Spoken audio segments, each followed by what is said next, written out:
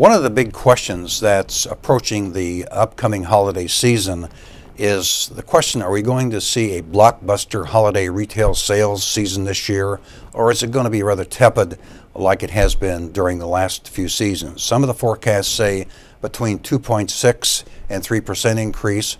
That isn't bad. It isn't a blockbuster sales picture, but it's not bad. Uh, that compares to last year's year over year at 5.2%, but that was coming from a lower base. We've had this concept that's been sort of uh, hitting the media recently called the Christmas creep, uh, which is kind of an interesting concept, meaning that uh, Christmas shopping, the holiday shopping season, is creeping forward versus backward.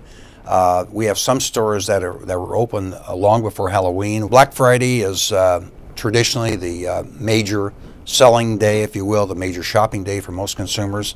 But I think that's sort of been watered down over the last few years because, and particularly this year, because we're pulling that activity forward. Some would say Black Friday's been hijacked, just to use a phrase. One of the bright spots, I think more recently, we've noticed that luxury sales have improved.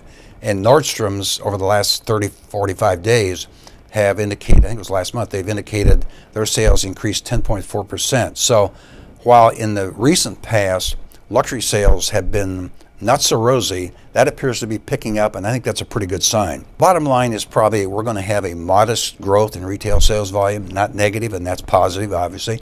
Uh, so we're hoping for the best, and I think probably uh, we'll have a decent season, but uh, certainly not in the 10% range that we'd like to see it.